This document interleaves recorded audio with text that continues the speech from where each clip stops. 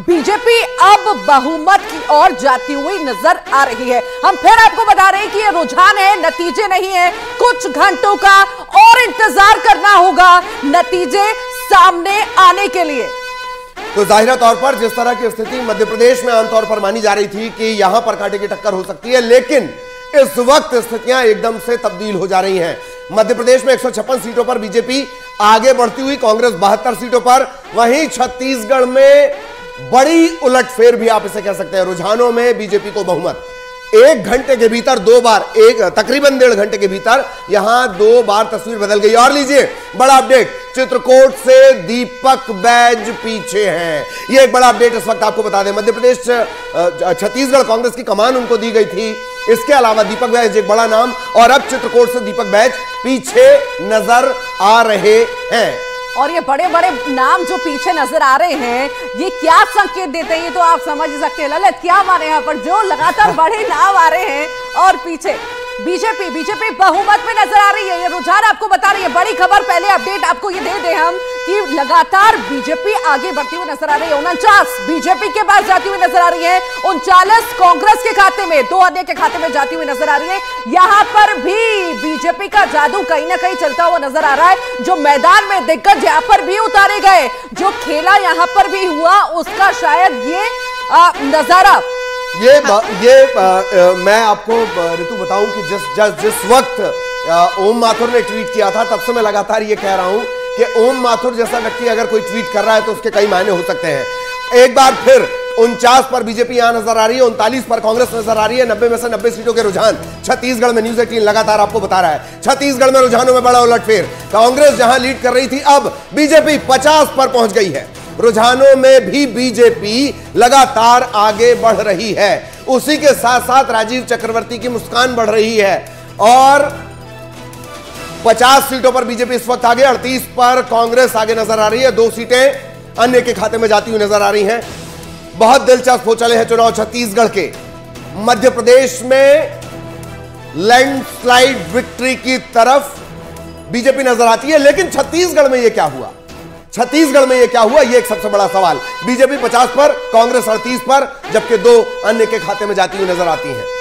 राजीव जी, राजीव लौटती लौटती लौटती हूँ लौटती हूँ आपके पास। मध्य प्रदेश की भी लगातार आपको तस्वीर दिखा रहे हैं। एक सौ अठावन एक सौ अठावन पे बीजेपी आ चुकी है। इकहत्तर पे कांग्रेस नज़र आ रही है। तो वहीं अन्य के खाते में एक लगातार आंकड़ा बढ़ रहा है बीजेपी का। लगातार जैसे जैसे काउंटिंग होती जा रही है, पन्ने खुलते जा रहे हैं बीजेपी के आंकड़ों का। आंकड़े सामने आ अरुण सामने आखिर इस बीच क्या कहा है? आपको सुनवाते हैं।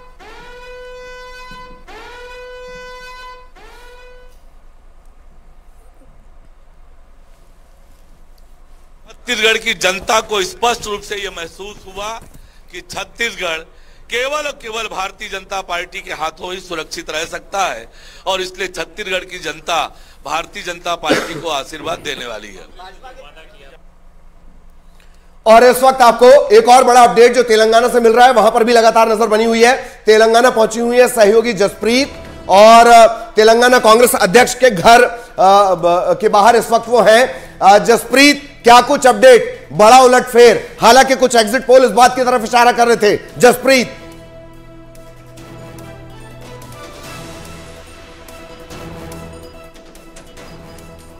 ठीक ठीक ठीक, वहाँ पे जाएँगे, वहाँ पे जाएँगे। जानकारी लेंगे ललित। एक और दिलचस्प बात, एक और सीट बढ़ती हुई नज़र आ रही है। बीजेपी की देखिए, पचास यहाँ पर हो चुकी है। छत्तीसगढ़ की हम बात कर रहे हैं। पचास सीटें होती हुई बीजेपी की यहाँ पर नज़र आ रही हैं अड़तीस कांग्रेस के खाते में जाती हुई नज़र आ रही हैं। अन्य के खाते में दो। मुख्यमंत्री शिवराज सिंह चौहान आकर क्या कुछ कह रहे हैं? इसी बीच सुनिए। आज भी जब वो दो और तीन दिसंबर की दरमियानी रात याद आती है तो हम काँप उठते हैं एमआईसी गैस के कारण, गैस के रिसाव के कारण। हज़ारों भाई बहन जिनमें हमारे छोटे छोटे बच्चे शामिल थे।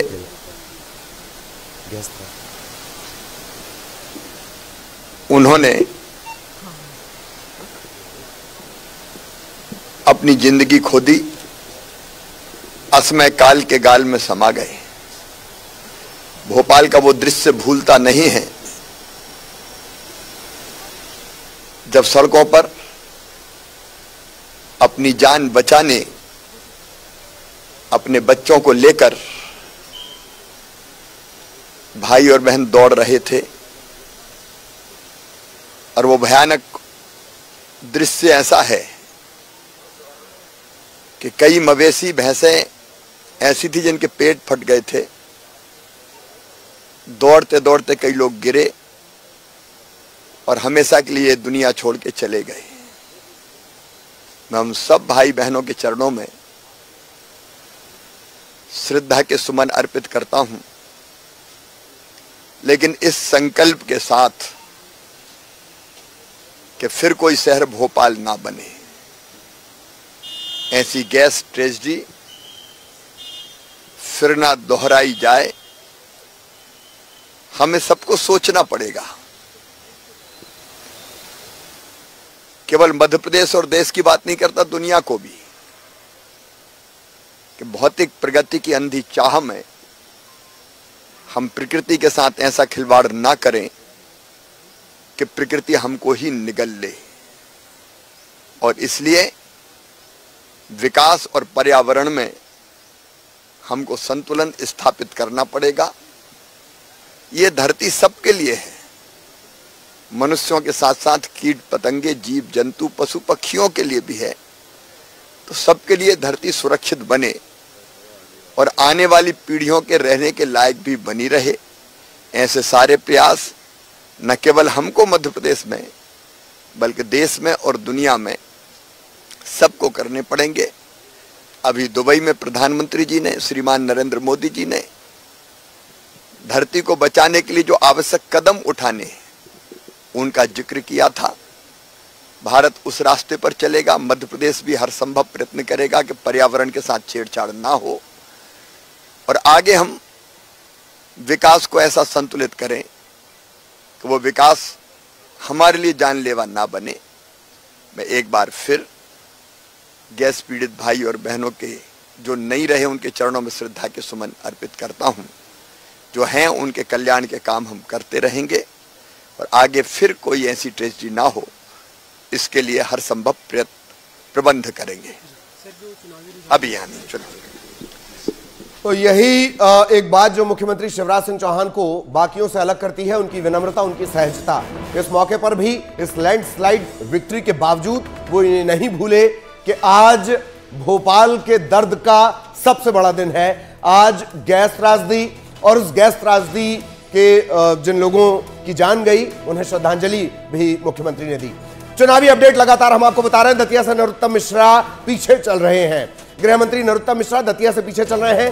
दतिया सीट पर यह बड़ा अपडेट, और अंबिकापुर से टीएस सिंह देव भी पीछे चल रहे हैं। दो बड़े अपडेट आपको बता दें, डेप्यूटी सीएम अंबिकापुर से टीएस सिंह देव पीछे चल रहे हैं, दतिया से गृह मंत्री नरोत्तम मिश्रा, डॉक्टर नरोत्तम मिश्रा पीछे चल रहे हैं।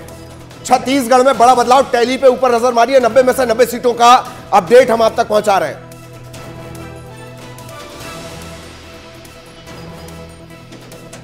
तो लगातार अपडेट हम आप तक पहुँचा रहे हैं। और अब मेरा ख्याल है कि एक बार हमें अवंतिका का भी रुख करना होगा। अवंतिका ओवर टू यू बिल्कुल और कुछ ऐसे महत्वपूर्ण सीटें जहाँ पर दिग्गजों को आप देखेंगे। आप टी एस सिंहदेव का ज़िक्र कर रहे थे आप भूपेश बघेल का ज़िक्र कर रहे थे मोहन मरकाम का ज़िक्र भी बहुत ज़्यादा ज़रूरी हो जाता है। अभी एक ऐसी सिचुएशन जिसमें महज पाँच वोटों से वो आगे चल रहे थे। पूर्व अध्यक्ष रहे हैं प्रदेश के, और इसके साथ इस तरह की पोजीशन मुख्यमंत्री भूपेश बघेल को लेकर अब यही जानकारी है कि सीधे सीधे तौर पर आगे चलते हुए, लेकिन टीएस सिंहदेव, इन्हें लेकर एक आंकड़ा सामने आया है। कुछ वीआईपीज जो कि छत्तीसगढ़ मध्य प्रदेश में बहुत ज़्यादा अहमियत रखते हैं, उनके लिए सीधे आपको बता देते हैं। टीएस बाबा ट्रेलिंग के तौर पर सीधे नज़र आ रहे हैं। विष्णुदेव साय लीड कर रहे हैं। ननकी राम कंवर का भी नाम है। ये भी पीछे चल रहे हैं। शविंदर कर्मा, ये भी पीछे चल रहे हैं। नारायण चंदेल को लेकर ये जानकारी कि वो लीड लेते हुए और छत्तीसगढ़ में जिस प्रकार की स्थिति आप लगातार देख रहे हैं कि भारतीय जनता पार्टी के नेता अच्छे खासे बहुमत के साथ आगे बढ़ते हुए रुझानों में और बहुत ज़्यादा ज़रूरी उन चेहरों को देखना हो जाता है क्योंकि अभी भी बहुत ज़्यादा पीछे है और कड़ी मशक्कत करनी पड़ रही है क्योंकि घंटों से हम ये नाम देख रहे हैं। मोहन मरकाम का आप ज़िक्र कर रहे थे ट्रेलिंग यानी कि पीछे चल रहे हैं कांग्रेस पार्टी की तरफ़ से दीपक कुमार बैच पीछे चल रहे हैं। एक बहुत बड़ा दाव प्रदेश अध्यक्ष बनाते हुए उन्हें खेला है। हैं लेकिन इसके बावजूद एक ऐसा चेहरा जो कहीं ना कहीं कांग्रेस पार्टी में रुझानों में पीछे चलता हुआ एक और बड़ा अपडेट। देखिए सबसे ताज़ा अपडेट ये है कि जो बुधनी विधानसभा है वहाँ पे सीएम शिवराज तीसरे राउंड के बाद चौदह हज़ार वोटों से आगे चल चौदह हज़ार वोटों से आगे चलते हुए लाडली बहनों के लाडले भैया और मध्य प्रदेश की सीटों को लेकर वीआईपी सीटों को लेकर अगर मैं बात कर लूँ तो लीडिंग और ट्रेलिंग स्टेट में यानी कि जो पीछे चल रहे हैं नाम उनके उन्हें लेकर एक बहुत महत्वपूर्ण जानकारी। माया सिंह बीजेपी की तरफ़ से लीड करती हुई प्रद्युम्न सिंह तोमर को आप देखेंगे लीड करते हुए वो तो अच्छे खासे मतों के साथ भी आगे चल रहे हैं। डॉक्टर मोहन यादव पीछे छूट रहे हैं कहीं ना कहीं। बहुत लगातार इस, स्थिति पे मैं नज़रें गड़ाई हुई थी कि मोहन यादव को लेकर क्या कुछ आंकड़े सामने आते हैं। फग्गन सिंह कुलस्ते पीछे चल रहे हैं दतिया से नरोत्तम मिश्रा पीछे चल रहे हैं। दूसरी तरफ़ प्रहलाद सिंह पटेल लीड करते हुए राष्ट्रीय स्तर का नेता है और मुझे लगता है कि इस प्रकार का आंकड़ा जब आप देखते हैं तो मध्य प्रदेश छत्तीसगढ़ दोनों ही जगहों को लेकर इस प्रकार की स्थिति जब बनती है, तब मध्य प्रदेश में जब आप देखेंगे कि दिलचस्प फाइट होने वाली थी। प्रचंड बहुमत की ओर रुझानों में भारतीय जनता पार्टी नज़र आ रही है, लेकिन छत्तीसगढ़ में दूसरी तरफ़ बीजेपी अच्छी खासी लीड लेती हुई रुझानों में। एक बार फिर से आपको वॉल दिखा देते हैं। ये महत्वपूर्ण चेहरे छत्तीसगढ़ मध्य प्रदेश के, इन्हीं के किस्मत का फैसला, ये राष्ट्रीय स्तर के नेता जो मध्य प्रदेश छत्तीसगढ़ में लगातार ज़ोर देते हुए नज़र आ रहे थे। लहार की आप बात करते हैं, टी एस सिंहदेव की आप बात करते हैं अलग अलग लोरमी की आप बात करते हैं अलग अलग आंकड़े अलग अलग समीकरण, सीधे अपडेट आप तक मैं पहुँचा रही हूँ, और यहाँ पर भी हलचल तेज हो गई है, क्योंकि जल्द से जल्द कुछ कुछ ऐसी सीटें, जहाँ पर रुझान नतीजों में तब्दील होंगे, सबसे पहले आप तक बात पहुंचाऊँगी। बिल्कुल बिल्कुल, अवंतिका, टी एस सिंहदेव का भी आपने ज़िक्र कर दिया, और यहाँ पर एक बात, ये भी दिलचस्प कि टी एस सिंहदेव और उनके सामने जो अग्रवाल साहब हैं, किसी दौर में बड़े रिश्ते हुआ करते थे और अब सियासत में एक दूसरे के आमने सामने खड़े हुए हैं। सीधा रायपुर चलने का वक्त हो गया मेरीन ड्राइव आपको लिए चलने का वक्त हो गया है। अभिषेक आपको नज़र आ रहे होंगे। अब सीधा अभिषेक के पास आपको लिए चलते हैं। अभिषेक ओवर टू यू मेरा ख्याल है कि डेढ़ दो घंटे में इतना लंबा आपका तजुर्बा है।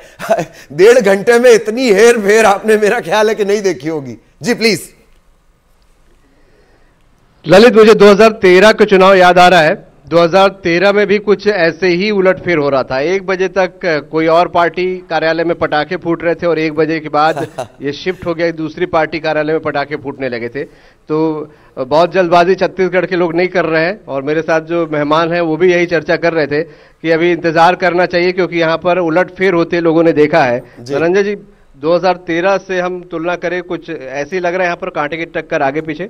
हाँ बिल्कुल वही स्थिति यहाँ पे नज़र आ रही है, क्योंकि जो इस प्रकार से मतदान हुए हैं, जिस प्रकार से गिनतियाँ चल रही है, एक दो राउंड के बाद जो स्थितियाँ हो रही है तो वही स्थितियाँ हैं, और ये निश्चित तौर पर आप देखेंगे, ये दो बजे के करीब एक बात स्पष्ट हो जाएगा कि कांग्रेस या पूर्ण बहुमत के साथ सरकार बनाने जा रही है। और भारतीय जनता पार्टी एक मज़बूत विपक्ष के रूप में रहेगी ये भी तय हो जाएगा। और कांग्रेस का जो घोषणा पत्र है भूपेश बघेल जी का चेहरा है और सरकार के जो काम है उसमें जनता मुहर लगा देगी। और ये मैंने कहा कि शुरुआती रुझान में शुरू- शुरुआती रुझान में ज़रूर भारतीय जनता पार्टी के हमारे बहन बैठी हुई है उनको खुश होना चाहिए। लेकिन इस बात के लिए भी खुश होना चाहिए कि उनको जनता जो आगे विपक्ष में बैठाने के लिए अवसर देगी। आप लोगों को मज़बूत विपक्ष धनंजय जी मान लिए किरण जी। मुझे लगता है अभिषेक जी धनंजय जी कुछ जल्दबाजी कर रहे हैं प्रडिक्शन करने में मुझे लगता है कि इस बार कांग्रेस को भी पक्ष में बैठना पड़ेगा। और जो आंकड़ा मुझे लगता है चौदह पंद्रह पिछली बार जो हमारी हालत थी मुझे लगता है अब वो कांग्रेस के ऊपर ये बीतने वाली है। और ये बात सही है कि इट्स टू अर्ली टू से लेकिन रुझान जिस तरह से दिख रहे हैं हम लगातार भाजपा सभी सीटों में आगे बढ़ रही है। तो मुझे लगता है आने वाले आधे एक, घंटे में और क्लियर हो जाएगा और भाजपा जिस वजह से आगे बढ़ रही। मुझे लगता है अपनी जो बढ़त है बरकरार रखेगी और निराशा हाथ लगेगी धनंजय जी के हाँ, किरण जी ये हम बात कर रहे थे बार बार एमपी का भी फिगर देख रहे हैं एक सौ चौवन बीजेपी यहाँ दिख रही है और तिरपन यहाँ आप दिख रहे हैं। यहाँ हालाँकि रुझान है दोनों ही जगहों पर और क्या फिगर आता है फाइनल ये आगे पता चलेगा। लेकिन महिलाओं का रोल बहुत इंपॉर्टेंट था। आप भी मान रहे हैं कि छत्तीसगढ़ में भी आप लोग अगर टक्कर दे रहे हैं तो महिला वोटर का बड़ा योगदान है। बिल्कुल अभिषेक जी आज जैसे मॉडर्न वर्ल्ड है इक्कीसवीं सदी की बात करें तो महिलाएँ छत्तीसगढ़ की बात करें या पूरे भारत की तो आधी आबादी कंस्टिट्यूट करती हैं और बहुत ही निर्णायक भूमिका अदा कर रही हैं। पिछले दो तीन इलेक्शन को देख लीजिए, लोकसभा को भी हम देख सकते हैं तो महिलाएँ बहुत ही निर्णायक भूमिका में रही हैं। और इस बार भी मुझे लगता है कि इस बार के पूरे भरोसे के साथ कह सकती हूँ कि इस बार महिलाएँ निर्णायक भूमिका में रहेंगी, चाहे वो एमपी का इलेक्शन हो, छत्तीसगढ़, कर्नाटक तेलंगाना की बात करें या राजस्थान की बात करें तो महिलाएँ निश्चित तौर पर एक निर्णायक भूमिका रहेगी और जिस वजह से हमारे मोदी जी ने महिला रिजर्वेशन का जो बिल पास कराने की बात कही। ये भी एक निर्णायक भूमिका रहेगी महिलाओं की पहले मुझे रिजर्वेशन से ज़्यादा आपकी महतारी और गृह लक्ष्मी का ज़्यादा असर दिख रहा है। धनंजय जी आप भी मानेंगे कि महिला वोटर निर्णायक साबित होंगी? देखिए ये तो तय है कि महिलाओं को ठगने का काम भारतीय जनता पार्टी ने किया है। चाहे केंद्र में रिजर्वेशन बिल लाकर किया हो क्योंकि पहले बार कोई देखा जा रहा है देश में कि जो बिल आज पास हो जाता है उसका लाभ आपको 20 साल बाद मिलेगा। तो ये ठगने से ज़्यादा कुछ नहीं है, क्योंकि भाई आज आपने बिल ला दिया है और बिल ला के मुझे तो अगर इनको वाकई में महतारियों के वंदन करने की इनकी मंशा होती तो इसी विधानसभा में वो बिल लागू हो जाता, विधानसभा के चुनाव में, लेकिन इनकी मंशा तो कभी रही नहीं है। और जिस प्रकार से महतारी वंदन की बात यहाँ पे कर रहे हैं, ये तो महतारी वंदन यहाँ चलेगा नहीं। लेकिन किरण जी से पूछना चाहता हूँ, आप तो यहाँ पे विपक्ष में रहेंगे, लेकिन सेंट्रल में कम से कम तीन महीना आपकी सरकार रहेगी। तो क्या महतारी वंदन को पूरे देश के लिए क्या लागू करेंगे? आप यहाँ पे पाँच सौ पे सिलेंडर देने की बात कर रहे हैं छूट। क्या आप तो यहाँ पे सरकार में नहीं आ रहे हैं? क्या नरेंद्र मोदी जी पूरे देश भर की माता और बहनों को पाँच सौ रुपए सिलेंडर में छूट प्रदान करेंगे क्या? जिस प्रकार से यहाँ पे बातें कही गई है किसानों को इकतीस सौ धान कीमत देंगे क्या? ये चीज़ें समझ में आ जाती है क्योंकि भारतीय जनता पार्टी काम धोखा देना है और वादा तो कहीं करके पूरा कर तो धनंजय जी ये जो फिगर है दिख रहा है फ़िलहाल रुझान जो दिख रहे हैं क्या आपको लग रहा है कि भारतीय जनता पार्टी आप जो बोल रहे हैं कि ठगने में कामयाब दिख रही नहीं, इस फिगर में ही मैं बात कर रहा था, क्योंकि यहाँ पे माता बहनों ने उस ठगने वाली जो स्थिति थी उससे दूर है। और ये फिगर बदलेंगे। फिगर इसलिए बदलेंगे क्योंकि अभी दो राउंड हुए हैं। किसी भी, हर विधानसभा आप देखेंगे कि मतदाता अब बढ़े हुए हैं। जैसे पश्चिम विधानसभा की हम बात कर लेते हैं लास्ट टाइम वह दो लाख पचास हज़ार के आसपास मतदाता थे। इस बार दो लाख छियासी हज़ार के आसपास मतदाता है। तो बड़ा एक मतदान जो हुआ है मतदान के साथ साथ जो राउंडे बढ़ी हुई है तो हमें इंतज़ार करना चाहिए फिगर बदलेंगे। फिगर में चेंजेस आएँगे। किरण जी और ये फिगर में चेंजेस पहले भी देखे गए हैं यहाँ पर। घोषणा पत्र कितना अहम रहा है अगर आप लोगों की बात करूँ मैं इस बार यहाँ पर। निश्चित तौर पे पिछली बार कांग्रेस अगर सत्ता में आई थी तो सिर्फ़ और सिर्फ़ अपने घोषणा पत्र के भरोसे और मुझे लगता है अभिषेक जी फिर इस बार भी भाजपा का घोषणा पत्र बहुत अहम भूमिका निभाएगी भाजपा को शासन में लाने के लिए सत्ता में लाने के लिए। जितनी योज, योजनाएँ हैं महिलाओं के लिए कर्मचारियों के लिए युवाओं के लिए तो निश्चित तौर पे मुझे लगता है जिस वजह से कांग्रेस की सरकार ने छला है महिलाओं को युवाओं को तो पूर्ण विश्वास करेगी छत्तीसगढ़ के युवा महिला और कर्मचारी। और मुझे लग रहा है वापस भाजपा छत्तीसगढ़ में शासन करने वाली है और जितनी निराशा हुई है छत्तीसगढ़ की जनता को पिछले पाँच साल में छत्तीसगढ़ कांग्रेस के द्वारा, मुझे लगता है जनता उनको सबक सिखाने के लिए तैयार हो चुकी है और अगर जनता को निराशा होती तो मुझे नहीं लगता कि नरेंद्र मोदी जी इकतीस धान के समर्थन में घोषणा करते। क्योंकि कांग्रेस की सरकार ने काम किया, धनंजय आप नरेंद्र मोदी जी की बात करें आपके स्वयं के मुख्यमंत्री जी को देख लीजिए बारह हज़ार की घोषणा के तुरंत बाद दो दिन के बाद ट्विटर के माध्यम से वो पंद्रह हज़ार की बात कर। रहे हैं तो कहीं ना कहीं आपके मुख्यमंत्री भयभीत है। मुख्यमंत्री भयभीत है कहीं महिलाएँ वोटर भाजपा की तरफ़ ना खिसक जाए। वो तो घोषणा पत्र में भी इंक्लूड नहीं कर पाए। ट्विटर के तो- ज़रिए तो इनको घोषणा करना पड़ा। तो तो इतने कि भयभीत है आपके मुख्यमंत्री रिज़ल्ट को लेकर धनंजय जी इतने भयभीत हैं कि अनन फनन में ट्विटर के माध्यम से दूसरे दिन जारी करते हैं कि पंद्रह हज़ार देंगे। नहीं तो हमारे गृहलक्ष्मी योजना तो प्लान ये था। लेकिन आप बताइए ना दस साल में जिन माता बहनों से आपकी सरकार ने 410 कांग्रेस का सिलेंडर जो मिलता था कांग्रेस सरकार में बारह सौ रूपए लिए छत्तीसगढ़ में घुटना क्यों टेकना पड़ा आपको? महिलाओं को क्यों घुटना टेकना पड़ा नरेंद्र मोदी जी को छत्तीसगढ़ में आकर? क्योंकि कांग्रेस ने धान की कीमत दिया कांग्रेस ने सिलेंडर में छूट दिया। कांग्रेस ने महिलाओं के लिए योजना लेकर आया। तब आपको छत्तीसगढ़ में हिमाचल के चुनाव में बोल के आए थे हिमाचल के चुनाव में भूपेश बघेल जी बोले थे अगर हिमाचल में कांग्रेस आती तो 500 में सिलेंडर मिल रहा है मिलेगा। तो क्या वहाँ मिलना स्टार्ट हो गया? तो राजस्थान में मिल रहा है हिमाचल में मिल रहा है कर्नाटक में गारंटी लागू हो गई है। पर नरेंद्र मोदी जी पंद्रह लाख आज तक नहीं दे पाए। लागू नहीं कर सकते। पर नरेंद्र मोदी जी किसानों को आमदनी आज तक नहीं बढ़ा पाए। बड़े आश्चर्य की बात एक है। एक सवाल में एक सवाल जो फिगर को देख के समझ में आ रहा है मैं आप दोनों से ही करना चाहूँगा हालाँकि रुझान ही है, लेकिन रुझान में बड़े चेहरे बहुत सारे पीछे दिख रहे हैं, चाहे भाजपा के हों, कांग्रेस के हों, ये क्या माजरा है धनंजय जी की? क्या बड़े चेहरे वो कमाल क्यों नहीं दिखा पा रहे? दोनों ही दलों के। देखिए, जितने भी कांग्रेस के बड़े नेता हैं और कद्दावर नेता हैं, सरकार के जो मंत्री हैं, वो सभी अपने क्षेत्र में जीतेंगे। मैंने हमेशा एक बात हमेशा कहा है, जब से चुनाव के बात हुई, हमारे वरिष्ठ नेताओं ने भी कहा है कि हमारा मुकाबला भारतीय जनता पार्टी के साथ में है। तो इसलिए हम जब भारतीय जनता पार्टी की बात करते हैं, मुकाबले की तो हम उसको कभी कमतर नहीं आंकते हैं। हम उसको अपने बराबरी के मानते हैं तो स्वाभाविक सी बात है। पिछले चुनाव परिणाम अगर हम देखते हैं 2018 का तो कहीं हर विधानसभा भारतीय जनता पार्टी को 30 पैंतीस, चालीस हज़ार वोट मिले हैं। ऐसा नहीं उनके पास वोट नहीं था। स्वाभाविक सी बात ये राउंड्स के वो बात है। राउंड्स में अलग अलग बूथ में अलग अलग मैं ये जानना चाह रहा था क्या बड़े चेहरों को टक्कर मिली बहुत आसानी से सीट नहीं निकाल पा रहे। कोई भी बड़ा चेहरा नहीं नहीं हमारे जितने भी बड़े चेहरे हैं जितने भी हमारे कद्दावर नेता और सरकार में जो मंत्री हैं सारे के सारे लोग जीत रहे हैं। और ये पहला दूसरा राउंड है। अभी तो तीसरा राउंड शुरू भी नहीं हुआ है। तो ये कह पाना कि बड़े चेहरों को जनता ने नकार दिया बड़े चेहरों को टक्कर दी ये भी कहना ठीक बात नहीं होगी बहुत जल्दबाजी होगी। पर इस बात को भी ध्यान में रखना चाहिए कि यहाँ कांग्रेस का सीधा मुकाबला भारतीय जनता पार्टी के साथ था और भी जिस प्रकार से यहाँ पे जो वोटर्स आए हैं जिस प्रकार मतदान हुआ है ये चीज़ें बता भी रही है।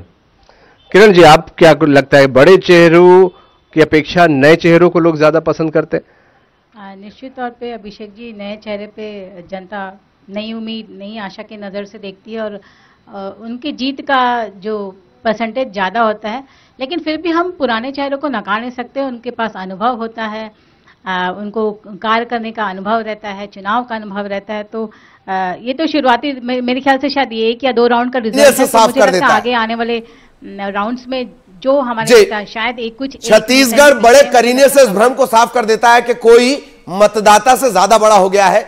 लगातार ये चर्चाएँ आपके पास भी हम आएँगे बहुत सारे सवालों के साथ और ये चर्चा मरीन ड्राइव से लगातार जारी है। फिर एक बार मरीन ड्राइव भी आपको ले चलेंगे लेकिन इस वक्त चर्चाओं के दौर को थोड़ा सा देश के जो, राजधानी है वहाँ की तरफ़ शिफ्ट करने की कोशिश करते हैं। बेहद खास मेहमान लगातार हमारे साथ भी बने हुए हैं। राजीव जी बने हुए हैं सुरेन जी बने हुए हैं। सबसे पहला रिएक्शन तो सुरेन जी आपके पास स्थितियाँ एकदम बदलती हुई। छप्पन बत्तीस। ललित जी, शुरुआती रुझान है। मैं कहता, चाहता हूँ कि ये जल्दबाजी होगी। निश्चित तौर पर जो परिणाम आएँगे, वो कांग्रेस के पक्ष में होंगे। थोड़ा सा इंतज़ार करना चाहिए और जो कांग्रेस के नेताओं के संदर्भ में जहाँ तक बात कही जा रही है, भूपेश बघेल जी भी जीतेंगे, बड़े मार्जिन से जीतेंगे, दीपक बैज भी जीतेंगे और ये छत्तीसगढ़ में परंपरा रही है। जो नेता हैं कई नेता ऐसे हैं पाँच बार छह बार सात बार जीतने वाले भी हैं और आठवीं बार चुनाव लड़ रहे हैं। जी, जी। तो कांग्रेस के राजीव जी की मुस्कान एकदम चौड़ी हो रही है। जब आप बोल रहे हैं कि बड़े नेता हमारे जीतेंगे दरअसल कोंडा गाँव कोंटा यहाँ पर 70 80 अ, अ, वोटों से जो लीड है या पीछे होना है वो दिखा रहा है। ये बड़ा हैरत में डालता है। मेरे ख्याल से कोंडा गाँव का तो ट्रेडिशन भी रहा है कि दो बार से ज़्यादा वहाँ विधायक रिपीट नहीं हो पाते। राजीव जी प्लीज़। देखिए, ललित जी, आपको एक मैं बहुत महत्वपूर्ण जानकारी दे रहा हूँ।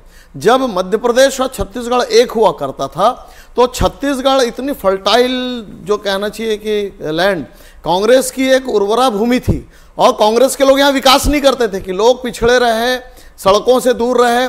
तीन दिन की वर्षा में कट जाता था छत्तीसगढ़ पूरे देश से। तो वो छत्तीसगढ़ के हालात थे, कांग्रेस ने बना के रखा था कि हमारी जागीरदारी रहेगी। उस छत्तीसगढ़ में भारतीय जनता पार्टी पिछले बार हार गई। हमने नम्रता से हार को स्वीकार किया। और आज भी मैं कहता हूँ जो छत्तीसगढ़ में मैंडेट है जो अभी आ, हमारे मित्र कह रहे थे धनंजय जी कांग्रेस के कि महतारी वंदन योजना गृह लक्ष्मी योजना हम जब चुनावी मैदान पर गए ऋतु जी महिलाओं ने कहा कि गली गली गाँव गाँव में शराब के ठेके खोल दिए गए। ये कांग्रेस पार्टी हम महिलाओं को क्या समझती है? शराबबंदी की कस्में खाने के बाद अगर कांग्रेस पार्टी ये कहती है कि गली गली में देशी शराब प्रीमियम लीकर शॉप और गाँव गाँव में ये कांग्रेस पार्टी है जिसके खिलाफ ये जो आप देख रहे थे कि बड़े दिग्गज तो दिग्गज आप इतनी नाकामियाँ गिना रहे हैं कांग्रेस की। अगर ऐसा था तो फिर पीछे करना ही नहीं चाहिए था ना। 2018 में ऐसा देखिए जनता देखिए जनता जनार्दन है। हम तो नम्रता से स्वीकार करते हैं। बदलाव तो चाहती थी जनता, कमियाँ तीन तो बार नहीं देखिए मैं ऋतु जी बात को समझिए। कांग्रेस की फर्टाइल लैंड छत्तीसगढ़ उस भूमि पे हम पहले चुनाव लड़ते थे केवल प्रचार के लिए। हमको मालूम रहता था हम चुनाव में लड़ रहे हैं हम हारेंगे। वो स्थितियाँ थी 1956 से लेकर सन 90 तक। उसके बाद हम इस हिसाब से देखा जाए तो साइकिल पे दो सांसदों वाली पार्टी और मेहनत करने वाले लोग आज लोकसभा में प्रचंड जनादेश के साथ बैठे हुए हैं। बड़े हैरत की बात है कि अटल जी अब पोस्टर में रहते नहीं जबकि नमन आप उन्हें हमेशा करते हैं। सुरेंद्र जी आपका प्लीज़ एक कमेंट ललित जी, निश्चित तौर पर आपने बहुत अच्छी बात कही। भारतीय जनता पार्टी का अधिनायक अधिनायकवाद ये देखिए, अब बड़ी बड़ी बात करेंगे। पंद्रह साल रमन राज की उपलब्धि बताने के लिए इनके पास कुछ नहीं था। साढ़े नौ साल के कार्यकाल मोदी सरकार का कोई मंत्री नहीं बता पाया। दर्जनों मंत्री, मैं तो समझता हूँ, पिछले दो ढाई महीने चुनाव अभियान में भाजपा के लगभग पचास मंत्री छत्तीसगढ़ आए। किसी ने विषय पर बात नहीं की, केवल फर्जी आरोप। अब ये कह रहे रमन सरकार में ये हुआ, वो हुआ, शराब का सरकारीकरण करने वाले तो रमन सिंह थे। पूरे देश में गोवा के बाद दूसरे नंबर पर पहुँचाए थे। आज सत्रहवें नंबर पर है तो इनको तकलीफ़ हो रही है। गली गली में हुक्का बार खोलने वाले यही थे। और हमारी सरकार ने तो कम किया। 103 अरे, हुक्का दुकानें बंद किया। बंद किए खपत में कमी आई अंग्रेज़ी शराब देसी शराब और उस दिशा में जो है शराबबंदी नहीं हम तो नशाबंदी की बात करते हैं। तो ये ये चुनाव अभियान चला तो केवल केवल केवल और केवल झूठ और झूठे आरोप लगा के चुनाव लड़े। और अब ये बात कर रहे हैं पंद्रह साल तो उपलब्धि नहीं बताया पंद्रह साल की रमन सिंह की। चुनाव अभियान में छत्तीसगढ़ का कोई भी भाजपा नेता आगे नहीं किया गया था। इनके चेहरे पे ललित जी तीन मैंडेट जनता इतनी नाकारा नहीं है कि हमको जो तीन जनादेश दिया था, वो तीन जनादेश था विकास का। डेवलपमेंट का वो तीन जनादेश था कि हमने कानून व्यवस्था ठीक की तीन जनादेश था कि हमने सड़कों की मरम्मत की सड़कों को ठीक किया छत्तीसगढ़ को जोड़ा हृदय से दिल्ली से भोपाल से पूरे देश और दुनिया से। आप देखिए पर कैपिटा इनकम अगर बढ़ा है तो हमारी तीन वर्ष की सरकार के कारण इन्होंने तो तो छियासी हज़ार से एक लाख तैतीस हज़ार। पानी एक लाख तैंतीस। हज़ार प्रति व्यक्ति आय बढ़ी है। पूरे देश में अर्थव्यवस्था के तीनों सेक्टर तो कृषि उत्पादन और सेवा तीनों में राष्ट्रीय औसत से बेहतर है छत्तीसगढ़ का। रमन सिंह के भ्रष्टाचार और घोटालों की भेंट चढ़ी थी कुपोषण छत्तीसगढ़ मलेरिया से होने वाली मौत और इनके फोकस में कमीशन खोरी थी। घटिया मोबाइल घटिया टिफ़िन अनुपयोगी एक्सप्रेस। वे सुरेन जी आपको स्वीकार करना पड़ेगा जो तीन जनादेश था उस तीन जनादेश में ललित जी की बात थी। 2013 की चर्चा हो रही थी लोगों की 2013 में लगभग यही स्थिति थी। तस्वीरें देख ली जाए कुछ तस्वीरें देख ली जाए चलिए बेहतरीन तस्वीरें हैं ये। मुख्यमंत्री पहुँचे हुए हैं, पौधा वो रोपते हैं। और ये तस्वीर इस वक्त हम आपको दिखा रहे हैं। कुछ देर पहले हालाँकि मुख्यमंत्री शिवराज सिंह चौहान ने त्रासदी का ज़िक्र भी किया और अब वो पौधा रोपते हुए नज़र आए हैं। हालाँकि लंबे अरसे से जो 2003 में, अगर ये माना जाए कि 2003 में साध्वी ने जो पौधा मध्य प्रदेश में रोपा था। उस पौधे को वृक्ष बनाने का काम मुख्यमंत्री शिवराज सिंह चौहान ने किया है।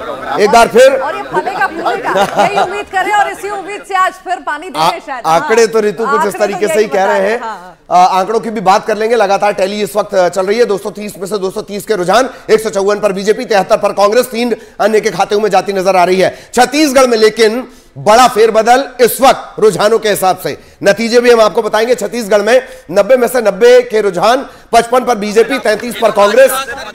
बल्कि बाकी राज्यों में भी। हमारे प्रधानमंत्री श्रीमान नरेंद्र मोदी जी एमपी के मन में है। और मोदी जी के मन में भी एमपी है। उनके प्रति असीम श्रद्धा और अगाध विश्वास है। उन्होंने जो यहाँ सभाएँ की, जनता से अपील की, वो जनता के दिल को छू गई। और उसी के कारण ये परिणाम जो अभी रुझान आ रहे हैं, ये प्रमुख कारण है। डबल इंजन की सरकार दिल्ली में प्रधानमंत्री जी के नेतृत्व में केंद्र सरकार ने जो काम किया, उसको यहाँ ठीक से हमने इम्प्लीमेंट किया। और जो यहाँ योजनाएँ बनी, लाडली लक्ष्मी से लेकर लाडली बहना तक का एक अद्भुत सफ़र जो मध्य प्रदेश ने तय किया। गरीबों के लिए, किसानों के लिए, भांजे भांजियों के लिए जो काम हुए, वो भी जनता के दिल को छू गए और एक परिवार मध्य प्रदेश बन गया। अमित शाह जी की अचूक रणनीति उनका जिस ढंग से यहाँ साथ मिला और हमारे राष्ट्रीय अध्यक्ष श्रीमान जेपी नड्डा जी का मार्गदर्शन, हमारे संगठन के नेतृत्व में कार्यकर्ताओं ने अनथक परिश्रम किया। प्रदेश अध्यक्ष, संगठन महामंत्री, उनके साथ टीम जुटी रही। और जैसा भूपेंद्र यादव जी ने, शिव प्रकाश जी ने, अश्विनी वैष्णव जी ने जो मार्गदर्शन किया, उससे चुनाव के अभियान को सही गति और दिशा मिली। और इसलिए मैंने पहले भी कहा था, हम बिल्कुल कंफर्टेबल मेजॉरिटी शानदार मेजॉरिटी भारतीय जनता पार्टी को आएगी क्योंकि जनता का प्रेम हर कहीं दिखाई देता था। कांग्रेस बड़े बड़े दावे कांग्रेस बड़े बड़े दावे कर रही थी एग्जिट गलत ठहरा रही थी। लाडली बहना ने सभी कांटे निकाल दिए आप कह चुके थे पहले भी अभी भी आप मैंने पहले भी कहा कि केवल लाडली बहना नहीं लाडली लक्ष्मी 50 परसेंट रिजर्वेशन स्थानीय निकाय के चुनाव में कन्या विवाह प्रधानमंत्री जी की जो योजना थी, प्रधानमंत्री मातृ वंदना योजना, उसका ढंग से क्रियान्वयन, उसका प्रभाव, बेटी बचाओ, बेटी पढ़ाओ जैसे अभियान, संपत्ति की खरीद में, बहनों को रजिस्ट्री शुल्क में कमी, फिर 35 परसेंट भर्तियाँ, ओवरऑल रिजर्वेशन दिया है बेटियों को, बहनों को, और फिर लाडली बहना ने ज़िंदगी बदली तो बहनों के मन में एक असीम प्रेम एक असीम विश्वास पैदा हुआ। अब अब हम विस्तार से अभी अभी तो प्रारंभिक रुझान है लेकिन हमारा विश्वास है कि हम शानदार बहुमत प्राप्त करेंगे। बाकी चर्चा फिर विस्तार से बात करेंगे। धन्यवाद। धन्यवाद।